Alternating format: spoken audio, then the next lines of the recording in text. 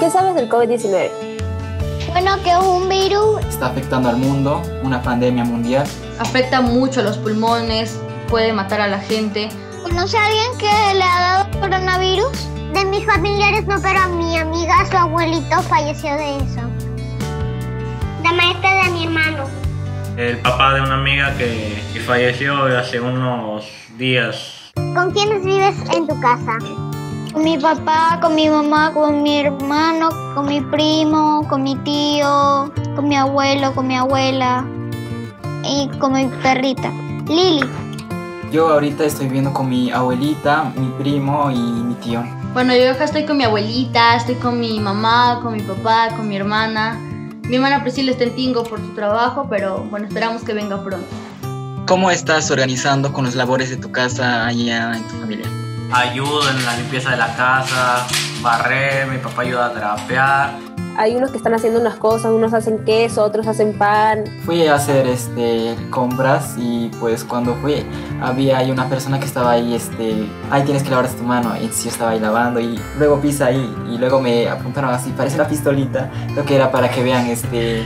El, La fiebre. Ajá, la fiebre y pues yo nomás hasta ahí pasé. Yo nunca salí. Yo tampoco, nunca salí. ¿Cómo estás haciendo últimamente tus clases?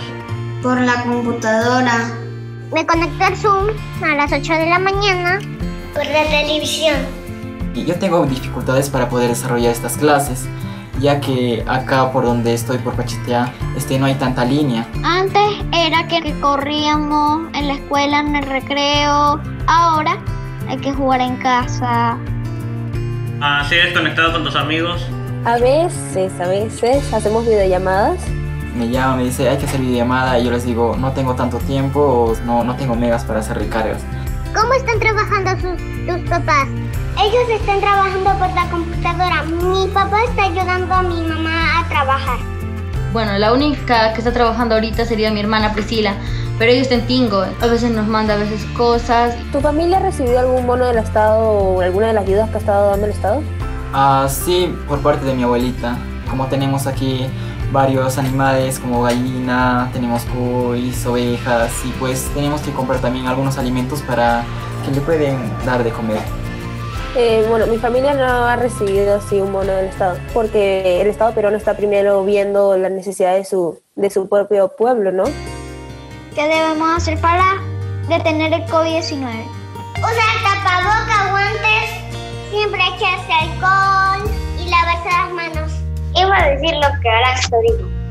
La limpieza se ha vuelto un hábito. Yo les diría que mantengan eso como un hábito. Que se cuiden demasiado, no salgan, que si salen, el respeto a lo de la distancia social. Debemos ser pacientes. No solo pensemos en nosotros, que también pensemos en las, en las demás personas. ¿Sabes algo de tus compatriotas venezolanos? ¿Cómo le están pasando? La mayoría, como son vulnerables, no le están pasando muy bien.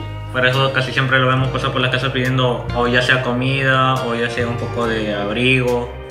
Los jóvenes no tienen cómo estar en las clases, no, no tienen radio, la televisión. Eh, como no tienen tampoco recursos para pagar los alquileres, a veces los desalojan.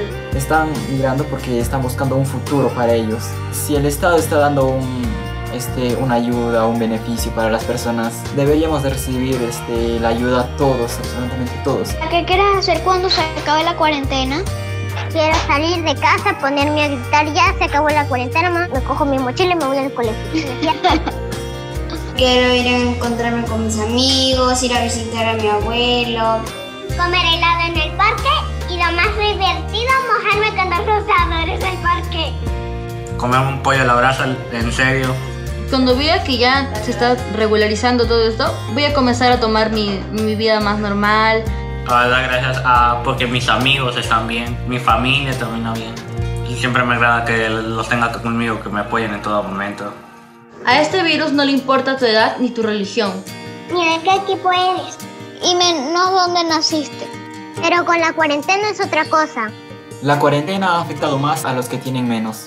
Y si queremos salir de esta, Nadie se queda afuera. Nadie, se, queda, fuera. Nadie se queda fuera.